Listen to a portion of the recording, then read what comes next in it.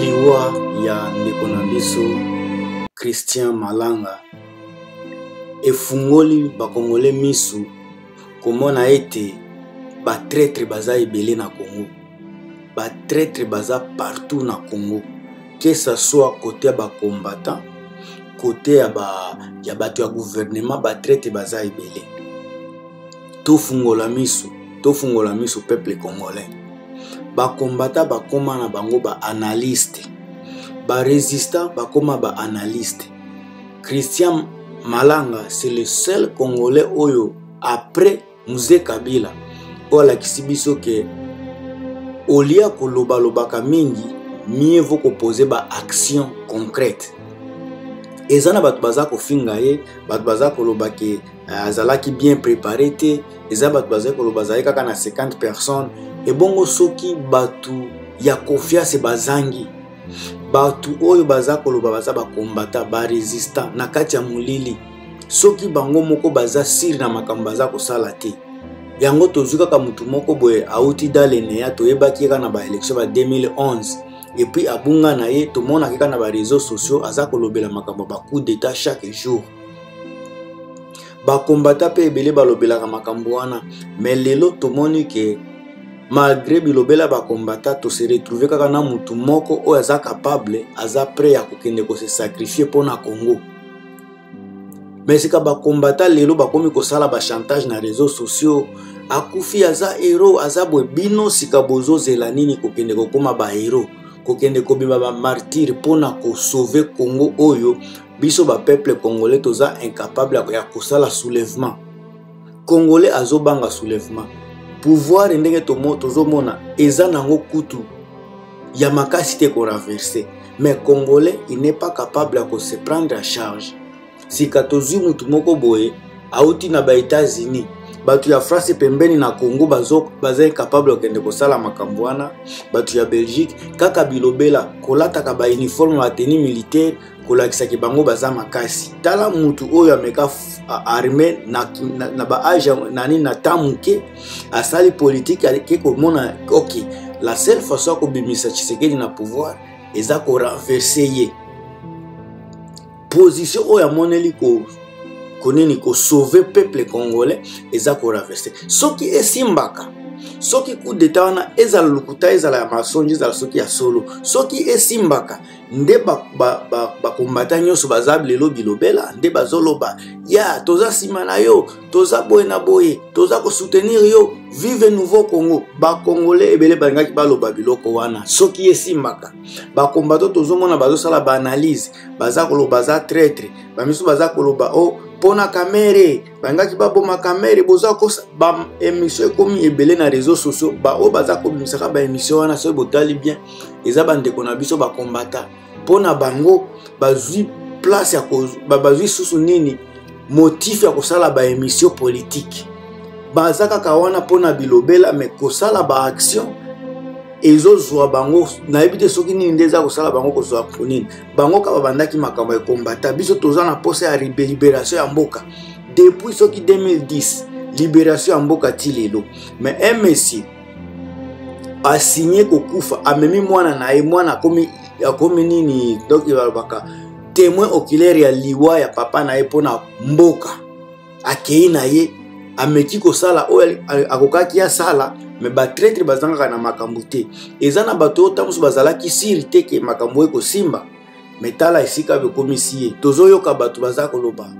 eza na bato oyo bazalaki na nini eh, efalaki bakende aéroport bamisusu baifaki bakanga radio biloko ya ndenge wana me wana eza eloko na ngai te soki nalingi kopesa bapoint de vue mpo na coup d'état na kopesa bapoint de vue na ngai koleka bato ebele oyo baza kosala ba émission na bango si les réseaux sociaux ngai kaka na émission oyo nalingi na interpele bacongolais surtout bacombattant oyo batutaka tolo ke bango nde baza boye bango nde baza soki baresista baza kobima na bareseau sociaux na bateni militaire papa depuis olata teni militaire osala action nini na congo malanga oyo atikala jamais kosala biloko ya baintimidation ba na réseau sociaux apesaka bapoint de vie na ye tomonaka ye na réseau sociaux mais lelo botikala jamais kozala na idéologie moko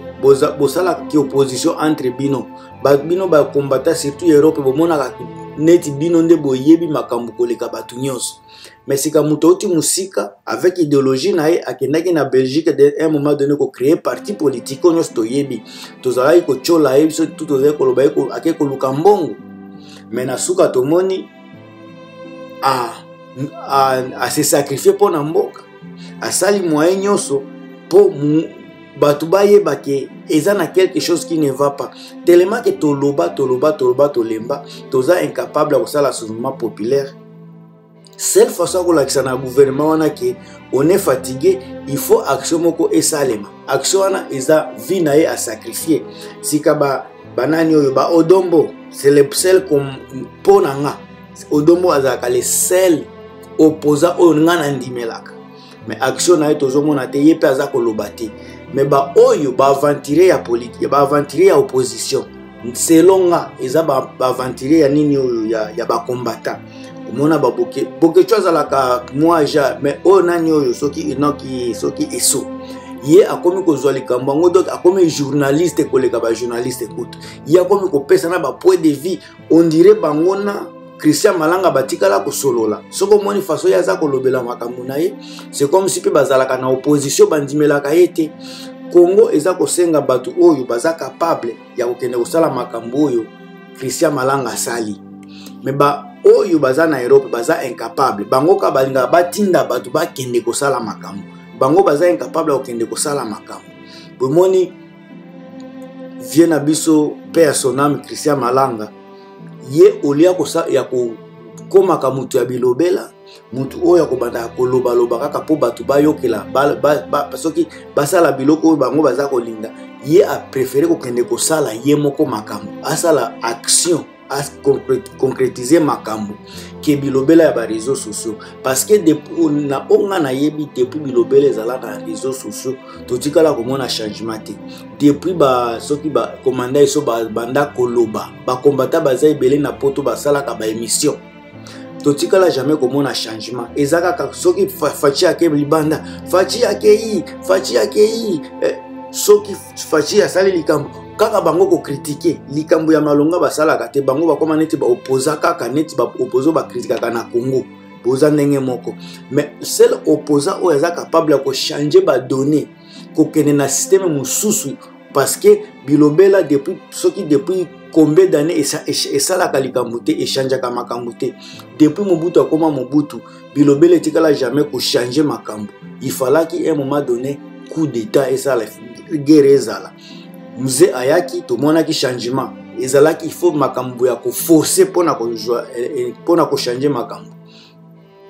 lelo lisusu congolais comme azalaka moto ya kolala tozongi na systeme ya bilobela ole tokóma na ideologie ya muse kabila soki likambo eza ezosimba te tochange pouvoir me kochange yango lelo tozomona ke eza bie te na ndenge ya kotangisa makila obe ya babiloko ya bacoup d'état monde eza koevolue soki ezosimba te basoulèvement populaire fo esalemaka kobengana président na ndenge ya bien olia kosalaka bacoup d'état mais ezosalema eza mboka baafricain ezosalema ndenge wana mais toloba toloba te vie na biso oyo il a vraiment travaillé il s'est sacrifié il s'est donné ekomi sika ntango na bino baodombo bakomanda eso soki baboketshu bino mpe bokita na congo bolobaka bakangaka bino bakangaka na bango mutu te baoyo bakotaki kuna bata mosusu basesfiltre infiltration na bango nde bino mpe bokosala toza na mposa mpe tomona komanda eso ake kosala coup d'etat toza na mposa tomona mpe nani, nani boketshu ayambo akita ndeko na biso odombo akita mpe kokende kosala parceke soki boza kotikala kaka kolobaloba bino bozotindaka bato bino boza incapable ya kokende kosala action ezosimba lisusu te vrai mobali nde motu oyo aza capable ya koloba je prends l'action je prends l'engagement ngai nakei le seul mobali oyo toyebi baza mibale na congo oyo baza capable ya kochange makambo tomonaki muze kabila lelo tomoni uh, christian malanga bino bamisusu wana boza kaka bamibali baza kolata pantalo ondire babulldog baza koganga kaka wuwuwuwu me baza koswa te bozoswa te christian malanga ye abimi na systeme na bino ya kogangaganga pambapamba me akei kosala action sika so tobandi kokota sika na detail na baanalyse sika précise na makambo oyo eleki na congo nde tokobanda kotalela soki ezalaki lokuta soki ezalaki bakumo te ou bien christian malanga azalaki mutu asolaki na gouvernement mais po mpo na kobomba baverité batrahire ye babomi ye ni wana eza bapoint mosusu wana eza deba mosusu deba wana soki nabandi kokɔta na deba wana bato ya mayele baza te mpo na kokomprendre makambo wana comme congolais alingaka na ye kaka makambo oyo bakoloba oyo ekosepelisa ye yango soki nakoti na deba wana bokosepela na yango te parceke nakopesa bino bamakambo oyo botikala koyoka te baanalyse tobengaka baanalyse adulte analyse ya maturité mais comme congolais bolingi na bino makambo ya bakomanda eso yango bokoma wana kaka kosalaka analyse tout congolais akoma analyste lelo motu nyonso oyo aza na telefone na ye aza capable ya kosala makambo alingi me ngai atake grand cas trop intelligent comme je suis je suis capable ya kodemontre bino avec les points sur les i koma makambo oyo eza na chance monene ya kokoma trahison nakoloba trahison na sens nini parce que un baplace oyo bakendeki kosala mwa coup d'etat na bango eza place mpenza oyo nakoloba le plus la place la plus sécurisée na congo mobimba parce que wana nde bainstitution nyonso ya mboka ezali président aza wana primature eza wana bahotel pullman na bainter nyonso eza wana donc wana eza place ya kosakana na yango te eza place ya sécurité mais coup d'état esalemi sans masasi sans masasi et puis ce qui est bizarre moïse mbi aza kobeta concert même jour wana oyo efalaki bapekisa mpona kosala nanu sécurité kosala nanu oyo babengaka nini euh, nabosani eloko mpumba yango ekimi nga efalaki basala nanu balaba basala sécurité na mboka kosukola mpo kotala soki bainfiltre baza te mai na temps wana kaka moïse mbi azokende kobeta concert butu ti butu bato baza kaka libana donc tu ne, on ne comprend même pas nini nde elekanaki wana baréalité oyo bino bozoloba na réseau sociaux soki boanalyse yango avec vraiment kimozindo nyonso ya makambo okomprendre qu'il y a quelque chose de louche parce que soki coup d'état erate kutu ezali basalaka kutu eloko babengaka nini couvre feu couvre-feu mpo na ko make sure barebele mosusu baza te kaka na quelques seconde boza koloba barebele bazalaki 50 ebongo soki ezalaki na baoyo bazalaki na par exemple na bafrontiere ya brazan bafrontiere ya, ya, ya nini ya, ya, ba, ba, ba, ba, na, na baaéroport na baradio soki bato wana nyonso bamoni ke esimbi te basinfiltre na population bokoyeba ndenge nini c'est ça ena aza koloba mboka na biso eza na desordre ya niveau ya likolo gouvernement bango moko baza kocomprendre te ke eloko baza kosala it doesn't make sense ça ne fait pas de sens puisque un, un gouvernement oyo soki bobandi kotala makambo ndenge eza kotambola bango moko bazo comprendre makambo baza kosala te bazosala makambo na bango bisalasala sans meme kopese bapour na bacontre na makambo baza kosala moto aza porte parole ya gouvernement ya police aza soki ya, ya armée aza koya koloba bilobela ye moko na temps wana couvre feu ezosalema te place oyo basalelaki bacoup d'état masasi ebeti pete kolakisa te eza bainfiltre bayaki parce que soki soki ezalaka pena nini rebellion ya solo be coup d'etat ya solo ba armée oyo efalaki ezala wana ezalaki efale mpe ezala armée ya kosakana nango armée mobimba oyo tozomona barebele eza kutu ata na nini na, na elo, eloko ya malonga te ya kobunda eza te baarme moko boye ya bapolisi nde baza nango bakalachinikov ka, mais en tout cas bamagi ba, ba, ba eza te eh, nyonso babaekipema nyonso balobaka oyo eza baekipema mpena ya komba komba eza te sika soki boza sirke bato wana baye kosala coup d'etat ya solo bokosala ata nini nini nini coup de couvre feu te en tout cas makambo oyo eza louche mpo na nga sika traitrisme nde eza na likambo wana eza na bato batrahire ndeko na biso christian malamba bato ebele batrahire epsika mpo na guvernema parce que wana eza makambo mosusu sika mpo na guvernema soki vraiment ezali coup d'etat ya solo nde bakoatake ambassade ya états-unis na sanse nini parceke baoyo baye kosala coup dete eza baaméricain bakotaki ndenge nini bakotelaki wapi estce bazalaki enregistre reconnu comme baaméricain oyo baye kokota na congo parceke ambassade ya congo eza na états-unis nini nde action oyo ba gouvernement na biso ya congo esali eloko te tomoni kaka makambo yango ezoleka kaka na kimia meme pas banini badéclaration contre gouvernement ya états-unis parce que bato oyo basali coup d'état balongwe na états-unis bauti états-unis bakomi wana il falaki ezala quelque chose vraiment ya kiseri na na seriosité na kati mais malheureusement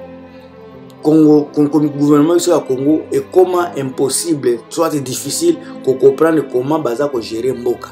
on, les, on gère le pays vraiment selon et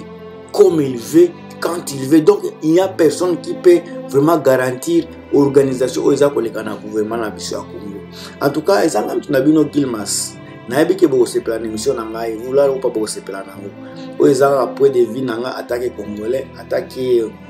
eh, eh, naza na droit ya mabele na ngai ya congo parce que je suis congolais eh, je dois donner mon point de vue oyo akosepela na yango asepeli bofinga ngai te eza droit na ngai ya kopesa point de vue na ngai na ndenge mpe bakomanda yesu baza kopesa bapoint de vue na yango na bango bamesu bato ebele baza kopesa alonga mpe nalingaki napesa point de vue na ngai na sense wana oyo akosepela na emission otie bagene okomante je ba soki balaki ndenge noti koloba et puis osabone soki nano osabona te tokutana à très prochaine et à plus bye